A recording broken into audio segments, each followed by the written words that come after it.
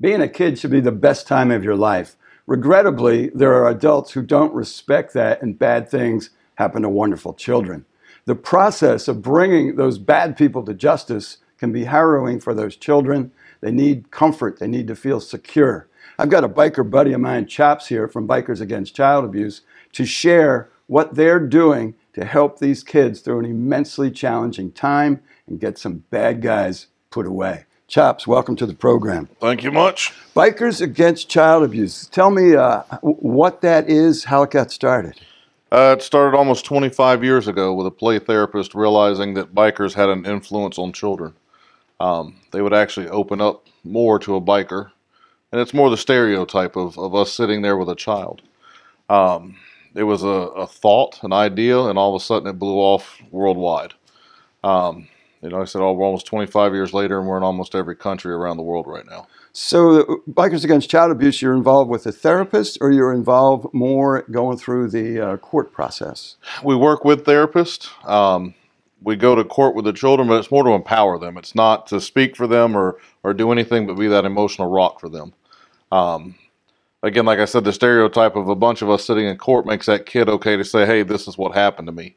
Because they don't fear that retaliation from that from the perp, from the family, or anybody. They're kind of a superhero at that point. So during the, the court process, you'll be there with them in court, along with some of your other riding buddies, to just give them that sense of we got your back, you're going to be okay. Yes, and if if we're not allowed to be in the courthouse, they know we're sitting right outside the door. Um, we escort the family to the court.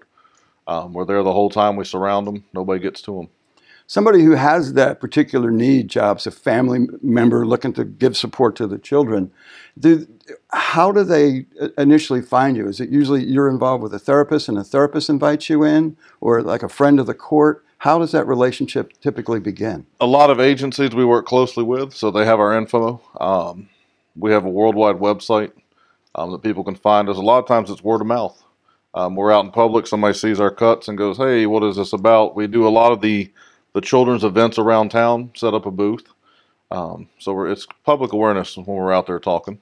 In the Jacksonville area, how many members are there, Chops? I think about 30. About 30, that's wonderful.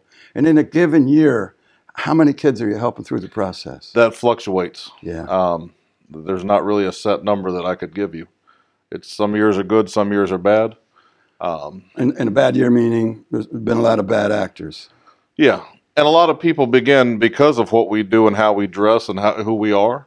We're also stereotyped as, as a gang, and that's not that's not us. We're actually a 501c3 nonprofit. But we walk into public and people see a patch on our back, and instantly yeah. we're roped in with everybody. Give me an idea, Chops, on the background of, of some of the different people involved in your program. They're, they're butchers or bakers or candlestick makers? We've got lawyers, we've got uh, Fortune 500 members. We've got construction workers, retired people, anybody and everybody. What about the, uh, what's the proper term? I almost used the wrong term. What about the ladies? Do you have lady members also? Yes. In our organization, uh, females are allowed to be patched. Um, a lot of our wives come in and join us because it, it, this is a commitment. It takes a lot of our time. Nobody's paid. So a lot of us, our wives come in, and it makes it easier when we have to go somewhere on the weekend. They're with us. It's it's it's a support thing. Excellent.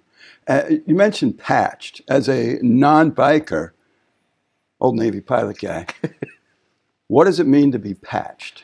Uh, to be a patch member ultimately means that you're a primary for a child. You can work directly with that child. Ah. Um, as a supporter, you're coming up, you're still learning, you're going through all the training. Um, anybody that joins us is FBI background checked, and here in Florida, VECHS checked.